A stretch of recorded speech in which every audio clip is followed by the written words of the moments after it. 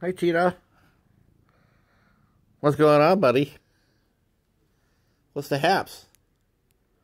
What's the happy haps? Huh? What's going on? What are we watching tonight? Want to watch Flatliners? Huh? You into watching Flatliners? Yeah, maybe. Tell and Kevin Smith. I don't know what it is. He's just not. He just doesn't like Kevin Smith movies for some reason. But that's the cheetah for you.